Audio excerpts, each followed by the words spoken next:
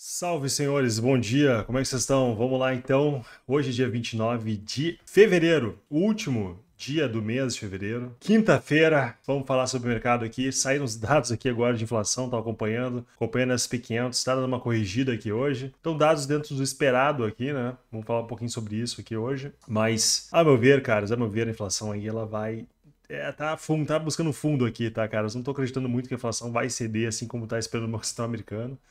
Para mim é buscando fundo para continuar subindo. Esse é o problema maior, tá? Também estamos aqui nesse momento, mercado cripto, em extrema ganância, 80 aqui nesse momento, incrivelmente alta ganância aqui nesse momento, muita gente falando sobre Bitcoin. Já me ligaram ontem, muita gente me ligou, aqueles amigos que somem, né? Mas quando o Bitcoin explode preço, sempre me lembram de mim. Não sei por que, que lembram de mim quando o Bitcoin sobe de preço, cara. O que, que, que, pode ser isso então, hein? Mas vamos lá. É, vamos falar sobre o Bitcoin. Ontem entrei uma posição comprada no Bitcoin long, né, pessoal? Comentei pro, pro pessoal do membros também no VIP ali. Bitcoin deu a oportunidade. Uh, vou comentar um pouquinho mais sobre essa movimentação, última movimentação do Bitcoin aqui agora, que foi um movimento surpreendente, tá? Ontem realmente incrível essa movimentação do Bitcoin até os 40, 64 mil dólares, tá? Realmente surreal, tá? Vou dizer, a palavra que representa isso é surreal. Mas deu uma oportunidade de compra, a gente aproveitou, comentei ontem para vocês, uh, para o pessoal do grupo VIP também do Discord. Estou tentando aqui fazer também uh, lives mais fechadas no Discord, tá, pessoal? Vai ter novidades, vou comentar para vocês aqui em breve. Tentem participar do grupo VIP, bem importante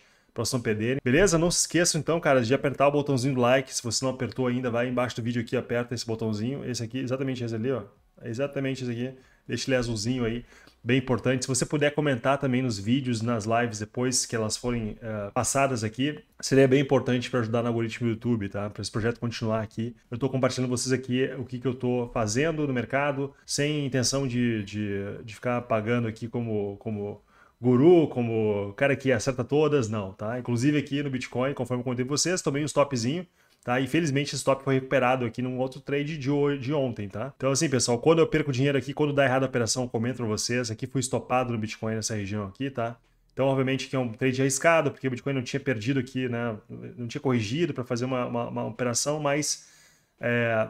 Então, esse stopzinho que eu tomei aqui assim, Uh, eu acabei recuperando nessa nenhum tradezinho por aqui, tá? Então eu fiz um trade por aqui assim no Bitcoin, um longzinho, muito bom ontem, devido à análise que eu fiz ontem com o pessoal na live fechada. Então tente participar do grupo VIP, tá? Porque eu vou estar tá fazendo coisas mais críticas assim, uh, num grupo menor de pessoas para poder tirar dúvidas, inclusive por voz dentro do Discord, tá? No grupo do Discord a gente vai tirar, você vai poder conversar comigo por voz e é o que está fazendo, a fez hoje de manhã também, conversou um pouquinho por voz ali, e também no final do dia, por volta das 8 e meia da noite, tá bom? Então dá uma participada lá, porque você vai gostar, com certeza, é um grupo que a galera tá ali com interesse de aprender e evoluir junto. Esse é o objetivo do grupo VIP, tem de participar, porque é um grupo diferente dos outros que você deve estar acostumado aí, tá? Bem diferente. O que eu quero construir é uma coisa é, mais colaborativa, incentive as pessoas a se ajudarem ali, tá? Não depender também só de mim, mas eu vou estar participando à medida que o grupo vai crescendo, eu vou participando ainda mais, porque é um projeto que eu estou motivado em fazer.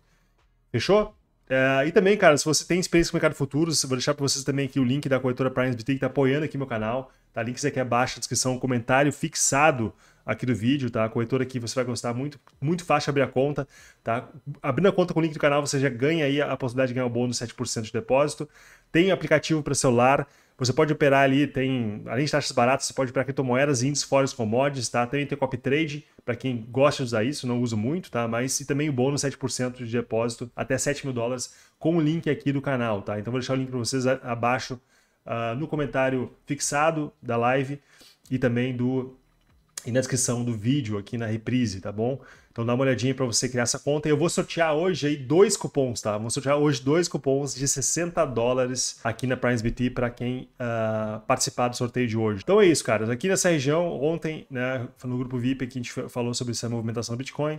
Aqui deu uma oportunidade boa de compra. Eu não consegui pegar essa aqui, tá? Mas eu peguei aqui assim uma outra compra, porque eu acreditava no Bitcoin testar pelo menos Fibonacci aqui, desse topinho, né? O topo que a gente fez lá, só 64 mil dólares, incrível. Né? Fundo, Bitcoin testar Fibonacci foi onde ele foi buscar, tá? Então eu busquei ali, fiz uma parcial nesse trade aqui, Tá? E agora aqui eu fiz mais uma, uma grande parcial aqui, realizei bastante slong, porque tem muita ordem acima para o Bitcoin, cara. Olha só a quantidade de ordem que a gente tem aqui em cima, tá? Então tem pressão vendedora aqui muito grande nessa região. E também, caras, uh, o Bitcoin pegou muita liquidez, tá? Vamos combinar, o Bitcoin pegou muita liquidez. Mas por que eu fiz essa compra aqui, ó? Porque a queda maior do Open Interest, cara, se puxar, puxar o gráfico aqui, ó, a queda em tempos gráficos menores aqui, né, inclusive, uh, vamos puxar aqui o gráfico da Coin Allies, uh, aqui no 15 minutos Bitcoin. No gráfico do Bitcoin, né? Eu tô dias, dias dormindo mal, tá? Pra vocês, dormindo mal aqui. Ontem saí pra comemorar um pouquinho, tá? Ontem saí pra comemorar com os amigos aí, mas geralmente eu tô tenho dormido mal as duas noites seguidas aí. Quando não sai, quando não durmo acompanhando o Bitcoin é para comemorar alguma coisa, fazer alguma coisa, né? Comemorar a vida, cara. Vamos lá. Então, olha só. Aqui nessa região, a gente pode ver aqui, pessoal, que a queda no Open Interest maior, a queda, o volume maior e a queda do Open Interest foi nesse, nesse candle aqui, ó, tá? Esse candlezinho aqui do lado, tá vendo, ó? Aqui no 15 minutos, tá vendo? Então, por isso aqui, ó, quando a gente tem um volume muito forte abaixo, né? Uma sombra muito grande abaixo com volume, então isso aqui vai ser suporte. Então quando o Bitcoin corrige aqui, ó, dá a oportunidade de compra, tá? Correção e dá a oportunidade de compra. Não consegui pegar aqui, mas peguei aqui, né, uma compra no Bitcoin, tá? Fiz uma entradinha aqui. Então esse longzinho pagou aqui e realizei praticamente 80% dessa, dessa operação. Estou cogitando realizar 100% porque não quero ficar muito posicionado em longs aqui, tá? É o motivo que a gente tem aqui a Funny Fee extremamente elevada, tá, pessoal? Tá muito elevada, bizarramente elevada a Funny Fee. É, só de Funny Fee aqui, com certeza você vai pagar uma... A cada 8 horas paga um valor alto. Uh, o Open Interest subiu aqui também nessa região, tá? O agregado subiu tanto, mas subiu, tá? Então por isso, por isso aqui eu até não fechei completamente o long, mas estou cogitando aqui realmente fechar 100% devido a Fee. E também as liquidações, cara. Só, só vamos pegar a liquidação aqui no semanal para mostrar se aconteceu aqui nessa semana. Olha só, semana, pessoal. Olha só o que o Bitcoin fez aqui. Além de subir aqui dando porradas no Pinterest, foram várias quedas que a gente teve aqui, né? A gente também teve a quantidade de liquidações aqui, compra mercado que a gente teve, cara. Bizarro, tá? Muito forte. Isso aqui realmente os ursos foram maltratados. Olha só, 300 milhões de dólares aqui no agregado, tá? Aqui, na, aqui no Bitcoin, na semana, nessa semana.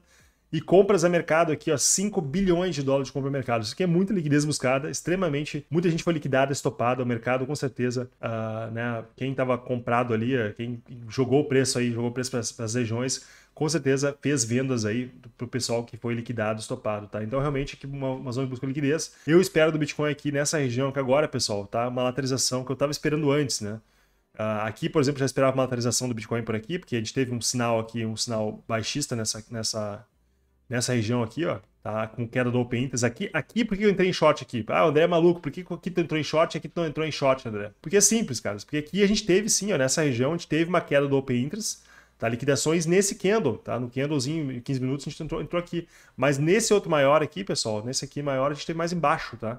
Então aqui embaixo, por enquanto, a gente tem suportes, tá? Temos suportes Bitcoin nessa região é, de volume e liquidez buscada aqui, tá bom? Então, por enquanto, essa zona aqui dos 60 mil dólares tá? É suporte até a região dos 57, 58.600 é suporte do Bitcoin, tá? Então, inclusive, olhando aqui o nosso indicador do CoinAlyze, a gente pode ver que a gente tem aqui suporte grande aqui, ó. Deixa eu ver aqui. Bom, aqui tá olhando o, o, semanal, tá? Então, um suporte grande que é realmente 50 mil dólares, mas olhando aqui no curto prazo, vamos pegar aqui duas horas, por exemplo, dar uma olhada. Essa região dos 57 mil, 58.600 é, é onde eu fui estopado praticamente ali, né? Fui estopado por aqui assim, ó. Tá? Aqui a gente tem um suporte do Bitcoin, tá? Então, por isso que, gente, por isso que o preço, inclusive, ele segura aqui, né? Ele vai dar uma porrada em cima aqui, ó. Quando volta, ele testa a zona de open interest, tá? Então essa, essa é, a, é a questão. E o motivo aqui também principal, pessoal, porque a galera tá em fomo aqui comprando, eu acho que por isso o preço caiu, tá?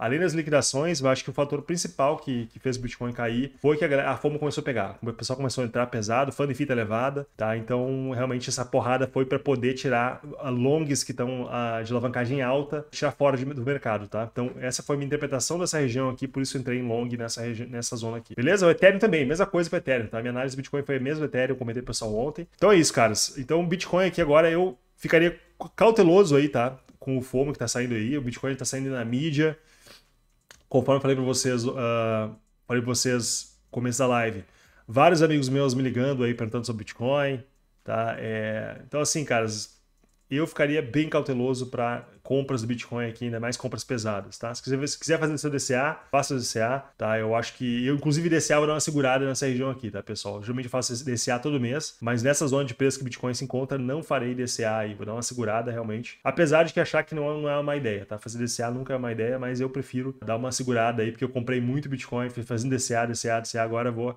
né, dar uma segurada aí nessa, nessa região que eu não quero comprar. Inclusive, estou de olho para vender Ethereum, tá? O Ethereum eu acabei não realizando essa venda aqui, estou de olho no Ethereum BTC, nesse gráfico aqui, ó, tá? Que tá complicado, vai, não vai, cara, está tenso isso aqui, tá? Então, de qualquer forma, eu estava comprado, estou comprado no Ethereum ainda, né? Esperando essa movimentação do Ethereum BTC, tá bom? Então, de fato, se essa movimentação do Ethereum BTC vier, eu vou estar interessado para poder, poder realizar o Ethereum. Provavelmente eu vou, vou dolarizar, tá, pessoal? Tô achando que eu vou dolarizar nessa região aqui. O mercado tá muito esticado, tá? O que eu imagino imaginava pro mercado, tá?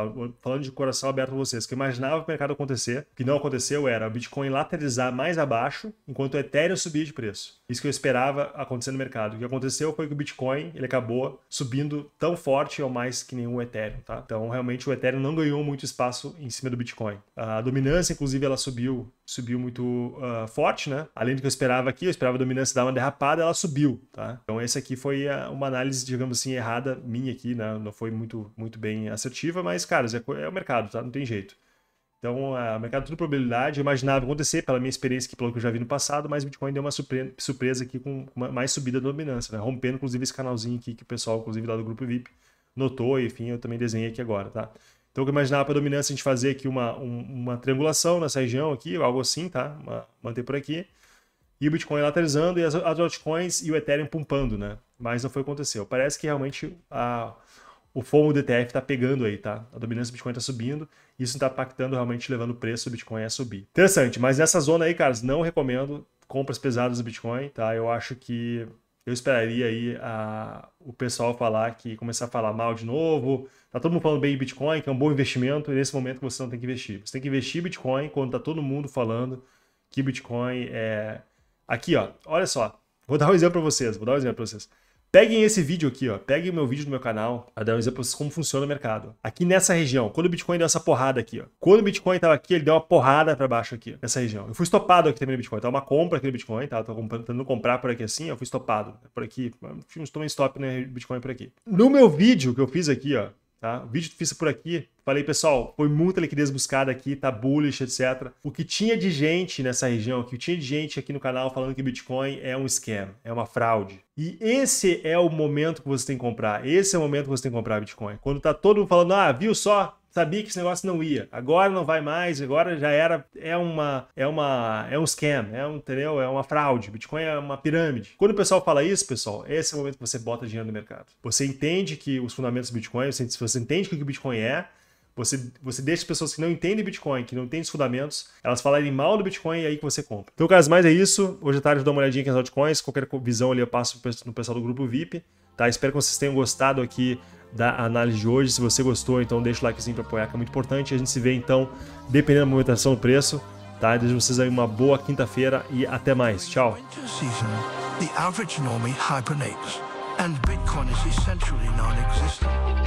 But there remains a dedicated class we call the humble sat stack.